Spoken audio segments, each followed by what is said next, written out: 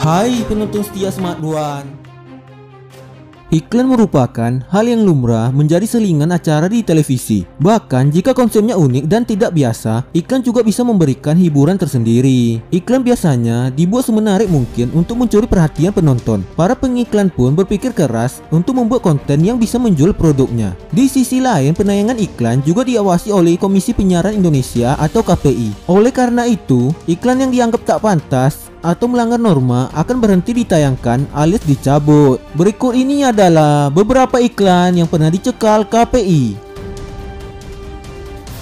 Eits, sebelum masuk inti video kita kali ini, jangan lupa tekan tombol subscribe-nya dulu ya guys dan nyalakan tombol loncengnya agar kalian selalu mendapatkan informasi unik dan menarik dari channel Smart One.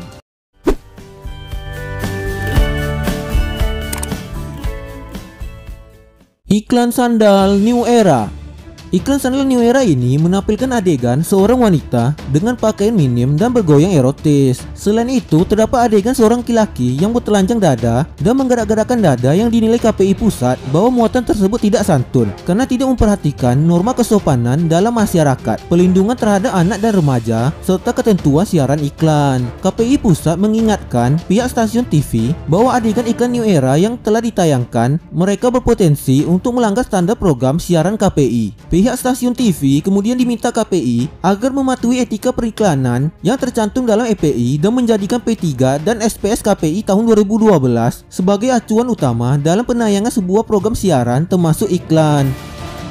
New Era Boot bahan original. New Era lebih kuat. New Era kuat. New Era lebih elastis. New Era elastis. Yang penting sol New Era lebih keras dan lebih tahan lama. New Era Boot. Chad Avian.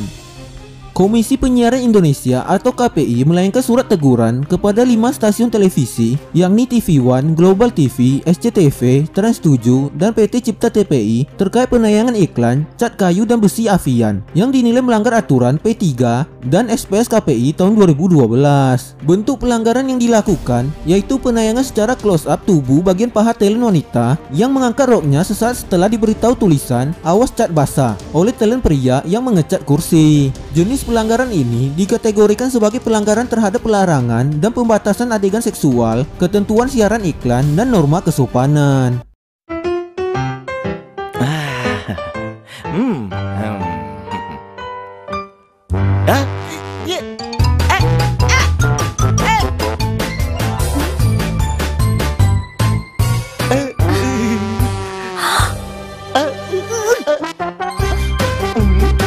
Ah, catnya sudah kering. Avian memang cepat kering. Cat Avian mengkilap dan cepat kering.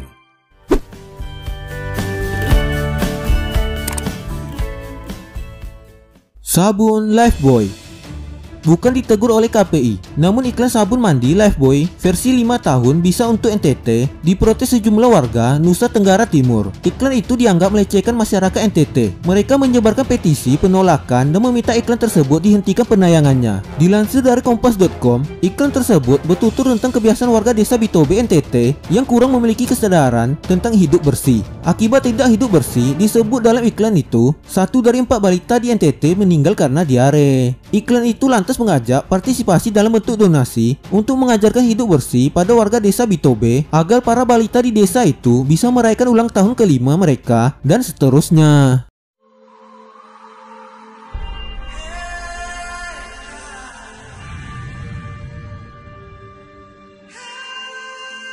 Nama saya Esther. Ini adalah cerita tentang desa Bitobe NTT. Desa di atas awan biasa mereka sebut. Begitu indah pemandangannya, sejuk udaranya, penduduknya ramah. Di sana mereka tinggal di rumah bulat. Memang bulat bentuknya. Di dalamnya tinggal semua anggota keluarga. Jika malam tiba, suhu sangat dingin dan rumah ini memberi kehangatan.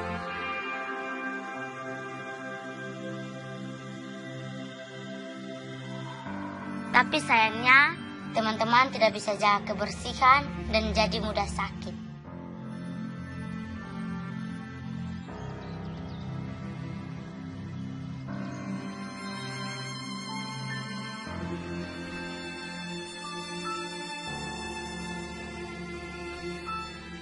Esther sedih jika melihat teman-teman sakit, terutama adik-adik kecil.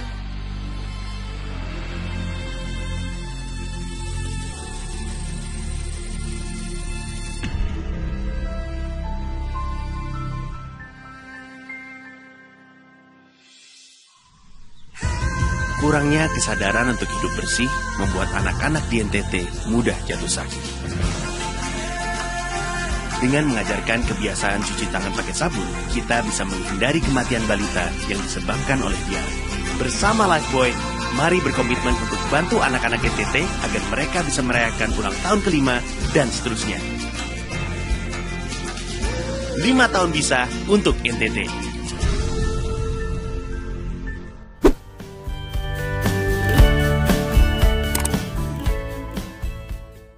Mie sedap.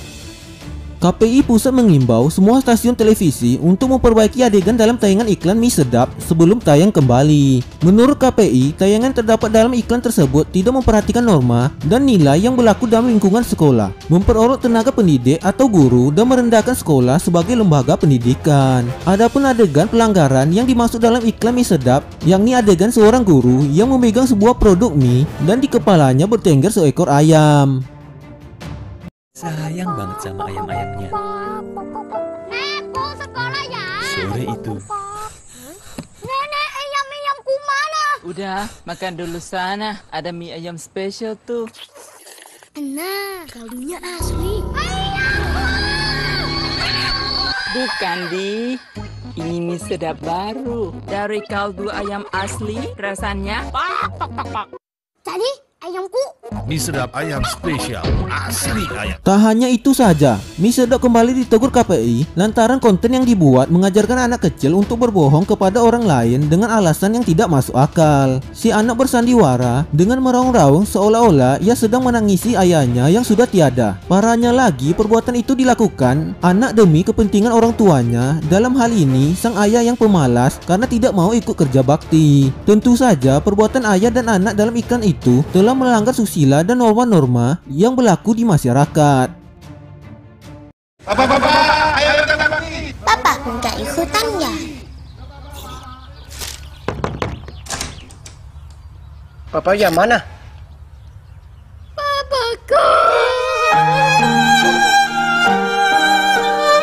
Sedang banget. Padahal ada.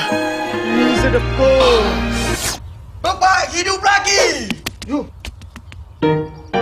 Soal rasa, lidah nggak bisa bohong.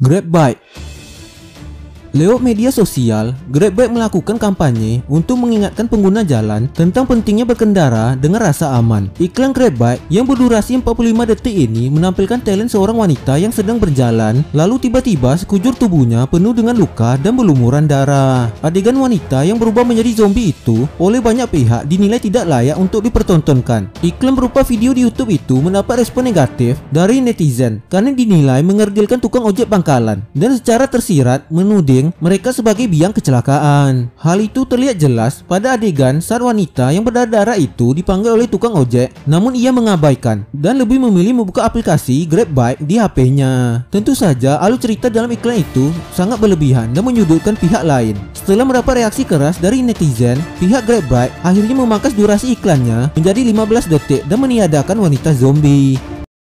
Ini Dinda, anak saya. Umurnya 20 tahun dan dia pengen jadi penyanyi. Sebentar lagi dia harus ambil keputusan besar. Kalau salah pilih, Dinda nggak bakal jadi penyanyi. Dia nggak akan ketemu teman-temannya, ibunya, atau saya lagi. Tapi Dinda memilih yang benar. apakah biker lulus pelatihan? Apakah dokumennya lengkap? Apakah motornya dirawat secara rutin? Dengan Grab, jawabnya selalu ya. Karena Anda tak tergantikan.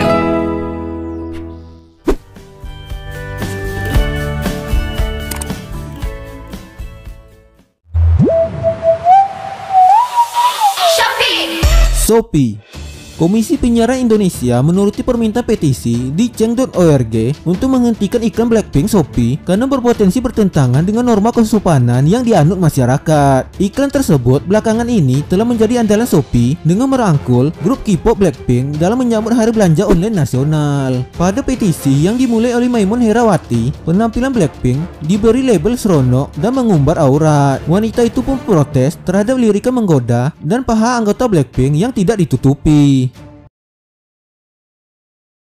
Sekian video hari ini ya guys. Kalau kalian suka dengan video ini, jangan lupa tekan tombol like dan share ke media sosial yang kalian punya agar teman kalian juga tahu yang kalian tahu.